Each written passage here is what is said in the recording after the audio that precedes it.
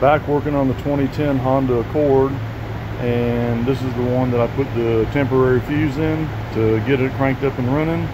And it's got the battery disconnect switch on the negative battery post which makes it very easy to tie in a meter to check for a battery drain. And currently we got a three quarter amp or 740 milliamp drain and we're going to wait probably an hour and see if that goes away and then we'll tackle it from there.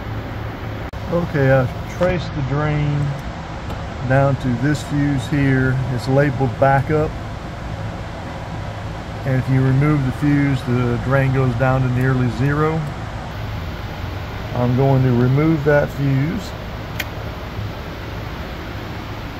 And we go down to a 70 milliamp 60 milliamp 40 20 milliamp draw which is more than acceptable. I did a little bit of research on it and found out that the driver's door lock switch is a culprit in many cases.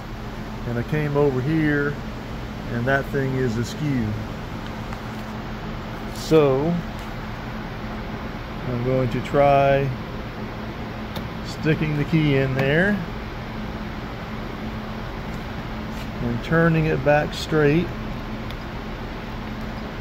which it will not do. We may not have the right keys. Yep. I believe that's going to be the problem. So now I've got to get with the customer and find out if they want me to actually fix what's wrong with that driver's door.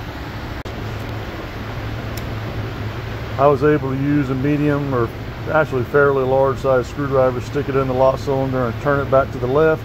And it went back to the straight up and down position. And after doing that I came back over to the multimeter and saw that I only had a 10 milliamp draw. So it turned that switch off in the door.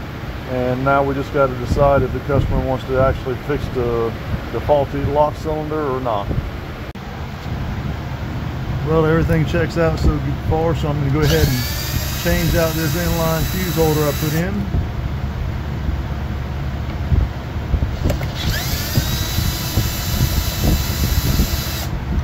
And put the factory fuse back in there.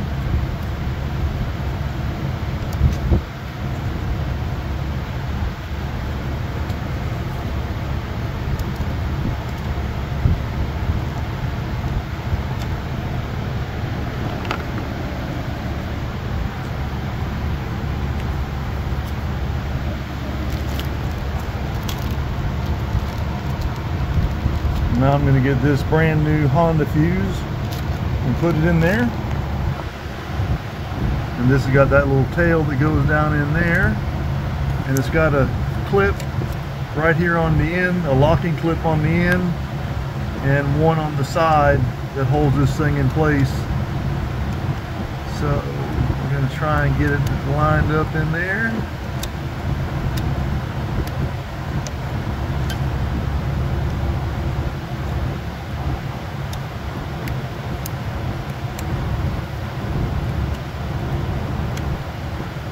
Yeah, ain't that something?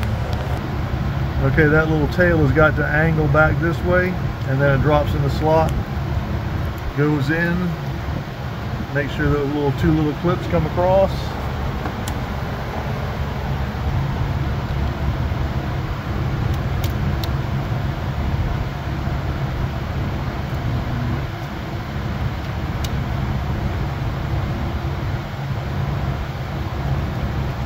Get it started with a screwdriver.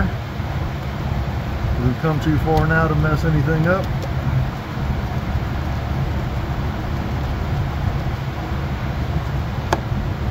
Now finish tightening it down.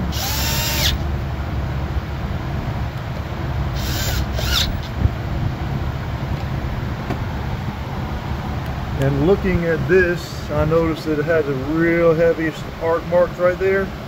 And pretty good chance that when that happened, it blew that fuse.